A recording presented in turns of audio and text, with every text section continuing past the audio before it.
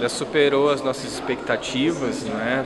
O número foi bem expressivo, nós tivemos um aumento de 9% em relação ao quantitativo do ano passado, com quase 4 mil visitantes nos quatro dias de carnaval nesse ano. Nós tivemos um número razoável, expressivo de visitantes estrangeiros, especialmente cubanos nos visitando aqui nesse, nesses dias. Né? Então nós estamos antecipando aí que esse ano vai ser um ano com a presença de muitas pessoas de outros países querendo conhecer aqui o Congresso Nacional. Além da nosso, do nosso material informativo já está traduzido em três idiomas, inglês, francês e espanhol.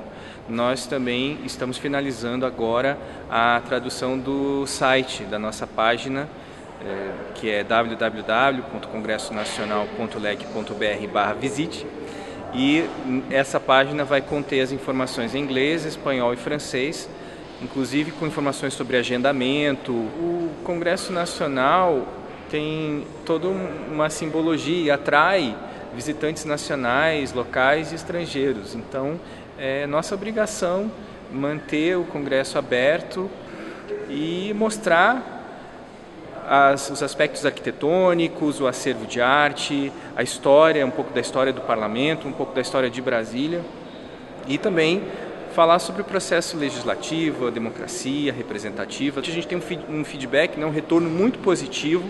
Foi bem interessante a visita. A gente tem uma outra ideia, né? Quando você vê de fora, você pensa que é algo assim, ah, lá só vai ter papel, escritório, caneta e não vai ter nada, né? Vai ter só político e é muito pelo contrário. Aqui dentro tem uma história. Eu trabalho durante toda a semana, então o único dia que eu tinha disponível para poder acompanhar, né, e para poder vir aqui seria um dia do feriado. A oportunidade da gente é muito pouco, a gente trabalha a semana toda, né, e o domingo às vezes fazia as coisas em casa, mas eu adorei vir para passear aqui, né.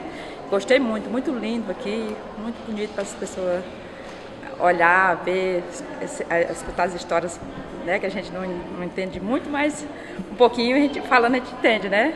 Amei demais vir passear aqui. Sim, então eu sou Vicente de, de Paris. Estou viajando, visitando aqui eh, pela primeira vez uh, a Câmara dos Deputados e de, do Senado. Gostei muito da, da visita, que achei muito interessante, com pessoas para apresentar muito simpáticas também. foi interessante conhecer mais o cor da, da democracia brasileira, brasileira aqui. É, então, gostei muito.